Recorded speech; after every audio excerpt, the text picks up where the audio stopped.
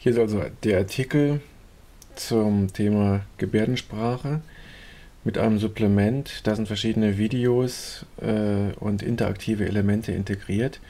Vielleicht fangen wir einfach mal an mit äh, dem ersten Video, was die Wissenschaftler bei der Demonstration ihrer Kinect-Konsole zur äh, Erkennung von Gebärden, Sprachgebärden ähm, demonstriert.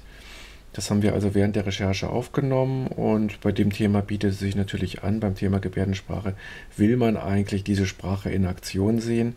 Es wäre schade, das in einem Holzmedium äh, nicht interaktiv zu haben, sondern tatsächlich nur in ähm, Buchstaben.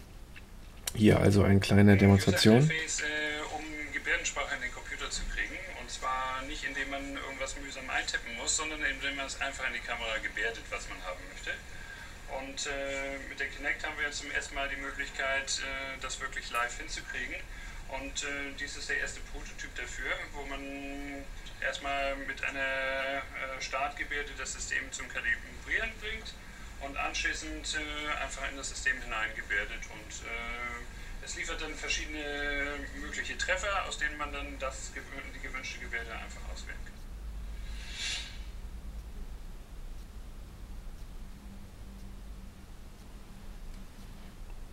Zusätzlich haben wir noch ein paar interaktive Elemente, Gebärdensprachbegriffe wie zum Beispiel Fleisch, kann man sich hier demonstrieren lassen innerhalb der iPad-Edition.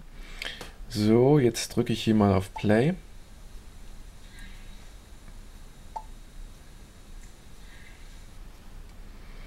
Kann man sich also die verschiedenen Begriffe ansehen. Und richtig lustig wird es bei der zweiten äh, Beispiel, und zwar die Namen von Politikern. Ich werde hier mal Westerwelle klicken.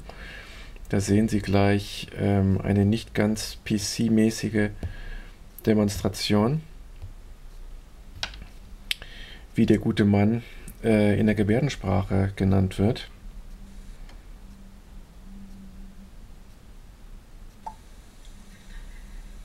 Ja, man erkennt, was die Gebärde bedeutet.